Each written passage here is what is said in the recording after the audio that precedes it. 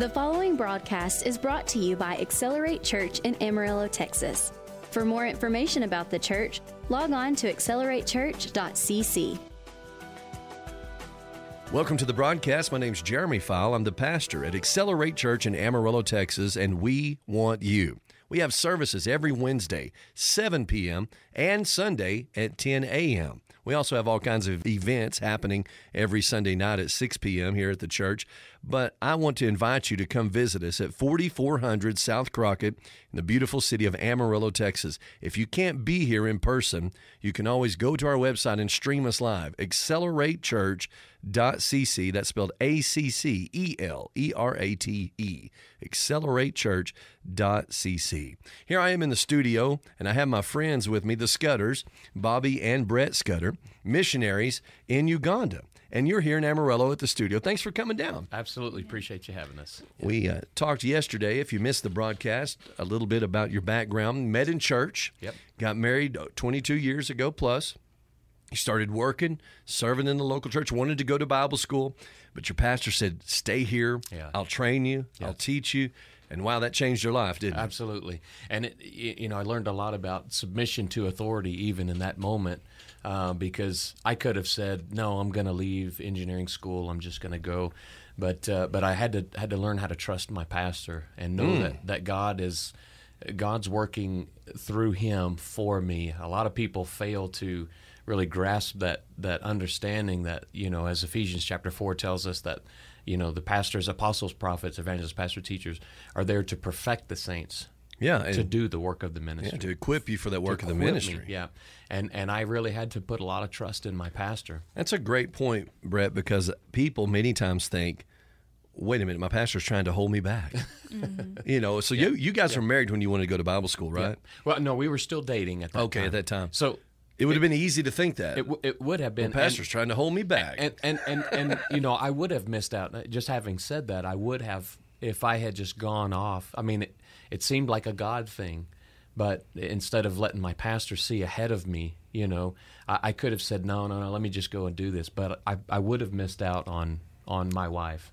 Wow. And and we would have. You know, I would have thwarted the will of God again, e, even though it seemed like a God thing. It wasn't what He had for me. You know what Yeah. I'm saying? And so a lot of people rush to think, "Well, this is this is good," but is that what God really wants for us? So let's talk about Bobby the process here. You guys are locked in. You're working in the nursery, working in children's ministry, youth pastors, Mm-hmm. and just blowing and going doing anything that the pastor needs. Uh, did you think that's what your life would be forever?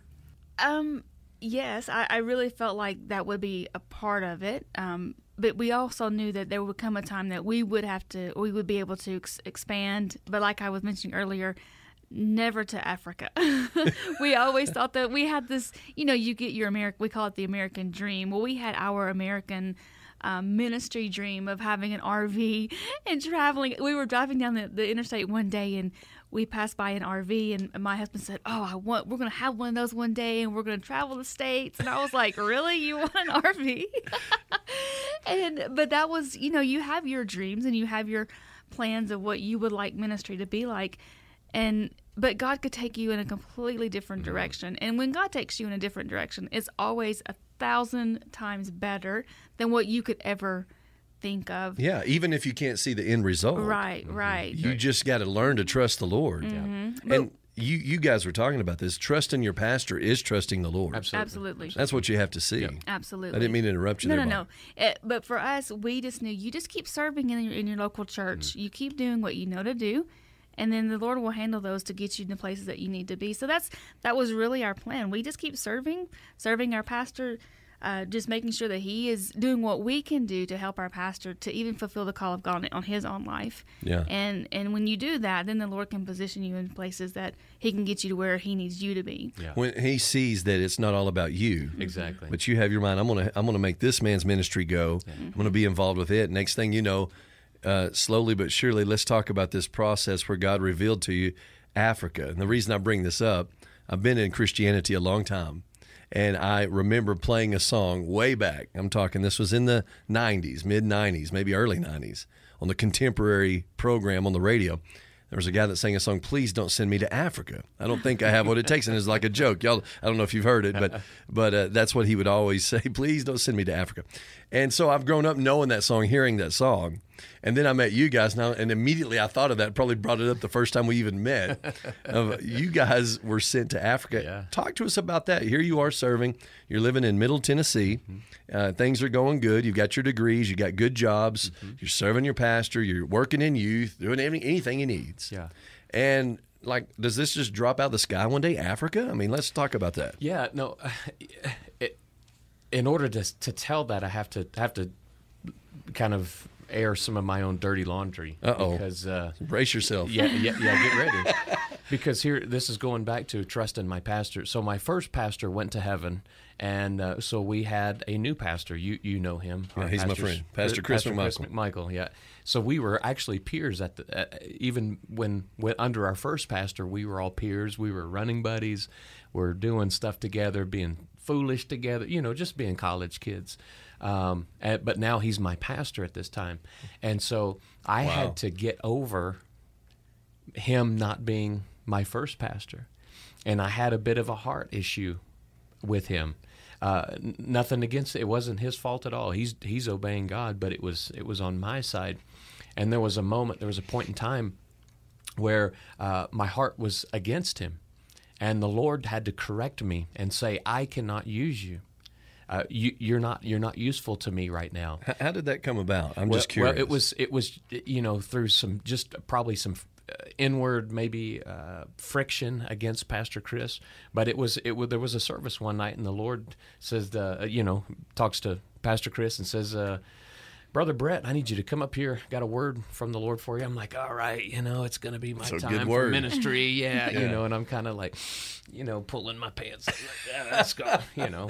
And uh, and the Lord spoke to him to me through him. He said, he said, now, now, Scudder, you know, I'm I'm your friend, but I'm also your pastor, and uh, this is what I hear the Spirit of the Lord saying. And he, he basically said, you know, you can you can choose to do what you want. I've got to be faithful to give you what what I hear. And he said, the Spirit of the Lord says, I cannot use you right now. You're you're not useful to me.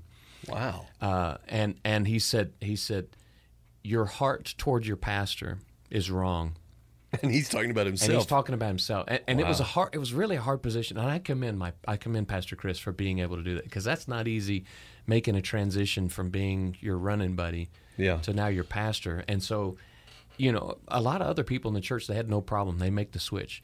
But because we were so close i it took i, I shouldn't say that eh, you know to exonerate myself but it was just challenging because i knew Sure. we knew his you know we knew his goofiness and all these other things. But but the spiritual truth was he's now anointed to be my pastor and if Hmm. if i'm going to obey god if i'm going to this church is going to send me out i've got to submit to his leadership Wow. so i had to learn that all over again i'd learned it from my previous pastor but getting and that's like back back to the drawing board, and the Lord tells you, "I can't use you." yeah And, so that re- that bore witness with you, or did that make oh, you oh, lord no no no no I, It I- I- was. Go let me ahead, add babe. this. It was so spot on. And when you're getting Yeah. corrected, you don't want to agree with it. You want to say, "No, you're wrong." But we knew he was exactly Yeah, right because even there was a PM. It was a night mm-hmm. service, Sunday night service. But even that day, that afternoon, he and I had the same exact conversation. We knew our hearts weren't right. Mm. There was a lot of aggravation and a lot of frustration there, and we just wanted it settled as well. And so Wow. that night, when when that word came to us, there was no denying it. Yeah, You know, yeah. like y- y- Yeah. when you're caught, you're caught, and you just need to. Yeah. But that's a that's a that's an excellent point because it, there's there's that moment you just you just shut up and plead guilty. Amen. And Yeah, say- instead of instead of trying instead to of- yourself, Instead of trying to justify or exonerate yourself, no, I'm good. No, the best thing to, with God is is God's always right, Amen. and you just shut up and plead guilty, even if you might have some other thoughts of disagreement. Uh, you'll never go wrong submitting and and honoring. And Come uh, on, that's good. Somebody needs to hear that. Oh, absolutely, absolutely. You, you, it's never wrong. God never will lead Yep. you, in other words, against honoring Yep. the man of God that He's placed over you. Yep. you. You stop and think about that. Some people think God's leading me when they get offended or disagree with a word, and a lot of people couldn't handle a word like that. Mm-hmm. right, right. You know, I was just preaching. You know, the day we're recording this, I just preached a sermon this morning about God is a father, and a father corrects. Absolutely. And he says it in his word. You know, if you will receive correction, I'll receive you as a son. Mm-hmm. The way I hear a lot of people talk, they act like they're sons and daughters of God without any correction Yeah, at all. yeah, yeah, yeah. but he's going to correct you. Absolutely. So that showed Absolutely. God's love. It, it, it showed his love, but it was a test. It, it was a test for me as well. You know, what you going to do, Brett? You say you want God. You say you want ministry. yeah. Uh, You know, what are you going to do? And it was the test of familiarity right there. It, it, it was it was that it was it was a lot of a lot of things kind of culminating at one point, and it was a decision time for me. Yeah. And and you know, I could have run away. We could have said, ah, let's find us another church. But but I knew that was I knew in my heart of hearts we knew that's where we're supposed to be. So when you when you went up to hear the word, Yeah. you, you said you pulled your pants up.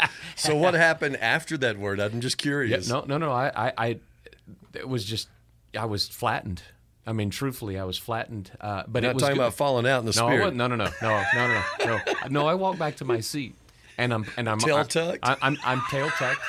I'm kind of arguing with God. I don't mean, mean just to to, be honest. No, no, no, no. It's just I think we all been there. this is a real a time or two. It's a real deal. I mean, it's this is where Christianity, you know, meets the road. It, and it, this is the thing I tell pastors all the time: is you, you know, you, you don't really know what's in you until you get squeezed. Come And, on. and your faith has to be proven. It's it's tried. In fact, there's the you know the Greek word for for test uh, that we see in First Peter and in James is peirasmos, and and one of the definitions for that is where God tests you. He he tests your faith to see whether or not it's genuine. That's why we're supposed to count it joy That's exactly right. That's when our faith right. is tested. Yep. A lot of people Yep. can talk faith, Yep. Yep. but when when the test comes, what are you going to do? Yep. That's exactly So right. here you had an opportunity to be offended. This is where Yeah. a lot of people, Oh, yeah.